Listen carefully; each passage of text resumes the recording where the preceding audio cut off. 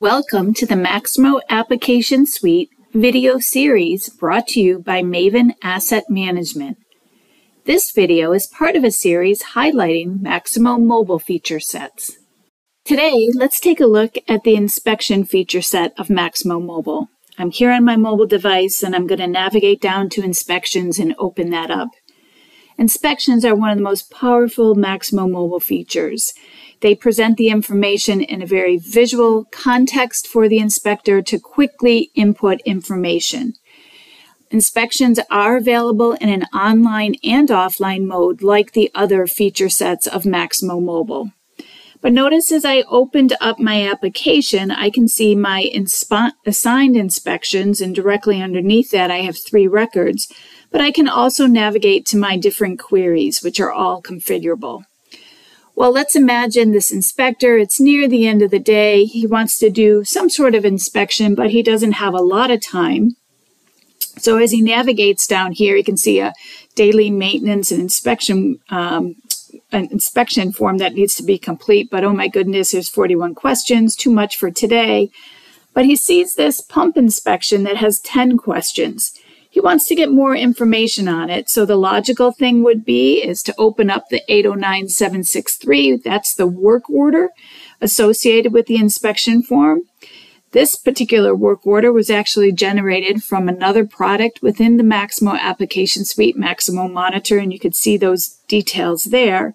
But maybe there's some additional information. If there was, he could navigate that, navigate to that. But in this case, he's going to go back and let's go ahead and give this pump inspection with the 10 questions a start.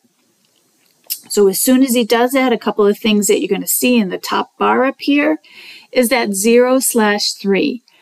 The 3 means that there's three required questions he needs to answer on the inspection form. And in this case, it's showing a status of 0. He hasn't answered any of those. However, there's 10 total questions, and again, 3 are required. Well, let's start navigating through and answering these questions on our pump inspection. Look how it's really organized very clearly for the inspector to get through. He can say the first question, is there any sign of a link, a leak? Excuse me. Nope. Everything looks good. Um, and notice right up top there, one out of three, that was a required question. Now let's look at the electrical connections. Are they secure? Yeah, everything looks good. Let's look about corrosion. Is there any visible corrosion? Nope. Got to make sure that you're answering the question right, yes or no, because notice that, you know, the good ones are sometimes yes and the good ones are sometimes no. So the inspector really has to focus on that. You can also see as he's navigating through the form, we're up to three of three, which were the required questions up here.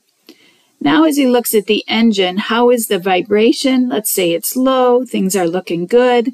What's our temperature? Uh, let's say it's 86 degrees. Um, how is our noise level? Uh, he thinks it's pretty normal.